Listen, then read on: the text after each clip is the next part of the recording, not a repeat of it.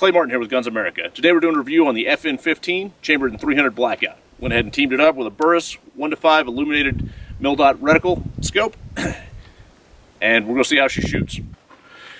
One of the things we had to change, the FN actually ships with a Surefire comp on it. Went ahead and put a uh, Gemtech muzzle device on, so we can do a QD suppressor.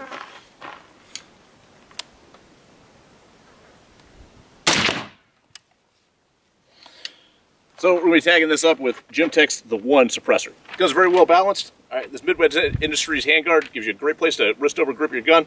This thing handles very well at close range shooting. Beautiful thing about our red dot from uh, from Burris, our illuminated reticle inside of our, our optic, this thing is absolutely daylight bright. I'm out here in the middle of the desert at almost high noon. It's absolutely not a problem at all. Seeing this red dot. It illuminates as well as some of the four and five thousand dollar scopes I've had in my life. I've written before about how I think the 300 blackout will become a mainstay police round in the next few years. Uh, this would absolutely be a great platform to do it in. This thing is bad to the bone for CQB range shooting.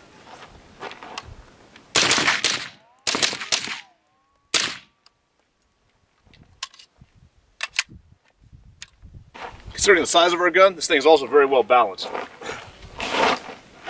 reasonably light for what it for what it is, and cranked up to five power, this thing will absolutely get it.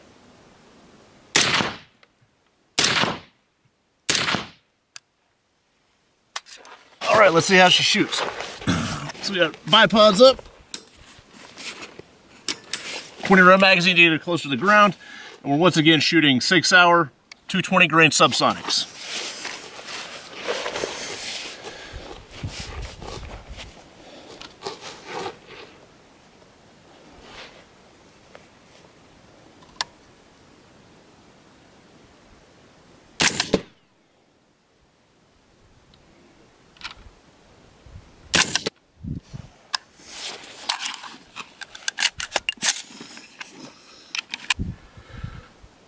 So we got our chrono station all set up.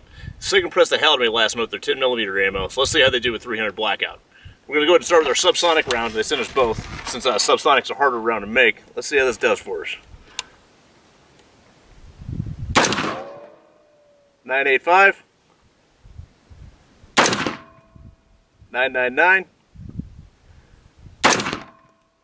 1021. 965 and 974.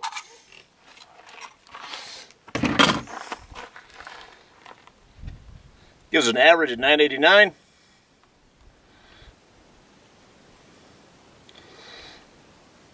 Extreme spread of 55. Standard deviation of 22.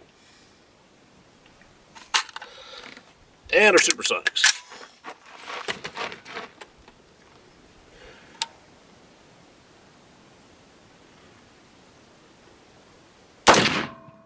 Two two two.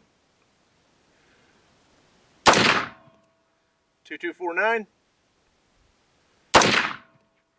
Two two six two. Two two two one. And two two one seven.